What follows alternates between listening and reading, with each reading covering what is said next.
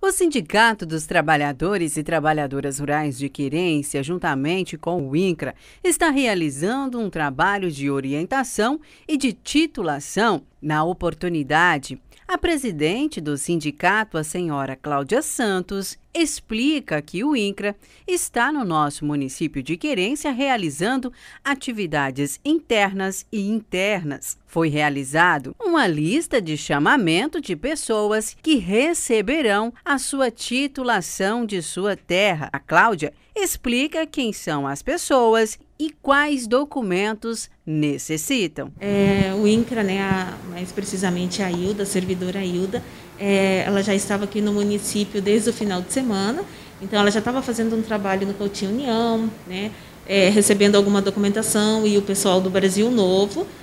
E hoje, especificamente, ela está atendendo o Pingos d'Água aqui no sindicato. Na verdade, já tem uma lista, né? então, com base naquela lista, tem os processos, e aí, além da, né, ela está pegando a documentação, porque as vistorias para titulação elas aconteceram em 2017. Então, é praticamente reforçando essas vistorias. E essas pessoas que estão na lista são aquelas pessoas que estão aptas. Pessoas que não têm nenhum tipo de pendência, porque nós temos ainda hoje algumas pessoas que estão bloqueadas pelo INCRA. Então, essas pessoas que eh, não conseguem receber o título enquanto não, não regularizar a situação. Então, hoje, ela está realizando, né, pegando documentação, conversando com, com as pessoas e terá alguns casos que será necessário as vistorias a campo. Então, posterior, né, terminando, encerrando esse trabalho de coleta de documentos aqui na cidade, ela estará indo né, para campo realizando as vistorias, tá? Então nós acreditamos que dois, três dias, né, necessário para ela estar tá fazendo a documentação. Ah, na sexta-feira o sindicato divulgou a lista, solicitando que as pessoas comparecessem hoje, tá? Só que assim, é, ela não, não vai conseguir atender todos de, dessa lista, até porque eram em torno de 74, 75 pessoas. Então ela consegue fazer às vezes por dia o, né, o atendimento aqui em torno de né, 24, 25 atendimentos. Então, as pessoas não precisam vir todas hoje, pode né, disponibilizar um pouco de tempo amanhã, tá? e nós vamos estar divulgando como que está o trabalho dela. Ou seja, de uma forma ou outra, todas as pessoas desta lista citadas vão ser atendidas. Vão ser atendidas. E, e assim, cada situação ela vai ser, ser analisada, cada cada problema ela, né, a gente está tentando resolver, nós estamos é, sempre em diálogo com o INCRA. Né, esse trabalho já foi uma conversa né, que o sindicato, né, a prefeitura também já vinha cobrando que era necessário. Né? Então, o sindicato reforçou bastante a importância da liberação desses títulos. Né? São várias pessoas que estavam estão precisando né, da liberação desses títulos, não só do Pingos d'Água, mas do Coutinho União, do Brasil Novo. Né? Então, esse é um trabalho muito importante. Por quê? Né, a partir do momento que essas pessoas têm esse título, é uma segurança a mais, né, realmente, né, para quem está lá dentro da, das suas áreas.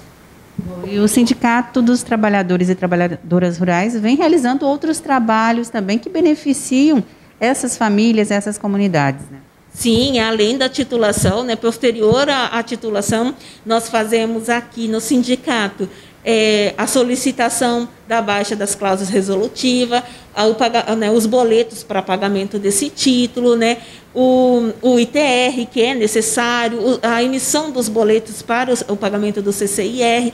E outra coisa que é fundamental, Lu, que, que, assim, que a diretoria do sindicato, não só essa, mas as, as, as diretorias anteriores vinham cobrando muito, é a questão do, do, dos nossos assentados, dos nossos agricultores familiares, guardar as notas fiscais. Tá? Esse trabalho de, de orientação a gente já vem fazendo há bastante tempo. Só que nós estamos vendo que algumas pessoas não dão muita importância para isso. E hoje, um dos documentos que é necessário né, para esse trabalho aqui do INCRA é as notas fiscais. Como eu falei, a última vistoria para titulação ela aconteceu em 2017. E de lá para cá, o INCRA não compareceu mais. Então, eles vêm solicitando que as pessoas tenham as notas fiscais de 2018, 2019 e 2020.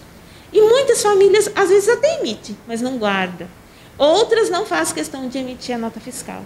Então é de suma importância. Os agricultores têm que ter o hábito, o costume realmente de ter, a, né, de, além de solicitar, de guardar essas notas. Né? Então, o sindicato vem fazendo esse trabalho também de orientação e de encaminhamento de documentos. Né? Nós temos muitas famílias dentro dos assentamentos que precisam da homologação. A titulação é um segundo passo. Primeiro passo a homologação. Então, o sindicato vem fazendo esse intercâmbio também, nessa ponte né, entre o agricultor e o INCRA. Então, nós encaminhamos toda a documentação necessária também para as pessoas que precisam de homologação.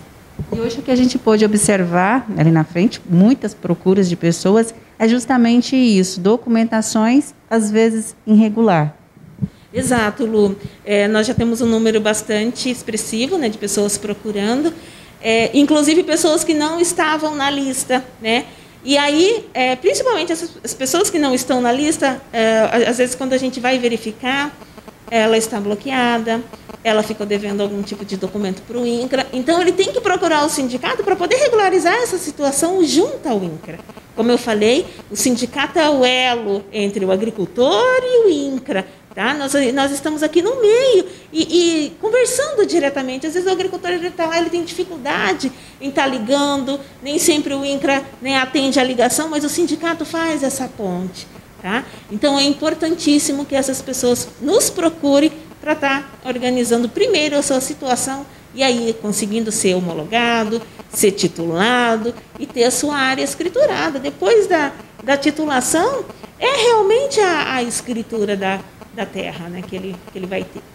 Cláudia, mais alguma informação a ser repassada, assunto discutido, iniciando aí a semana e também estamos na metade do mês de agosto, muitas ações ainda para acontecer. Exato, Lu. Não só reforçando os nossos horários de atendimento, tá? das 7h30 às 11h30, de 1h30 às 5h30.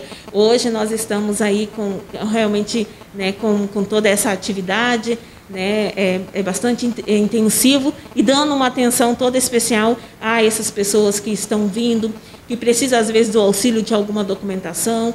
Então, é, praticamente essa semana, nós estaremos auxiliando tanto as, né, os agricultores que, que estão precisando do, do título, quanto ao INCRA que está aqui realizando o trabalho.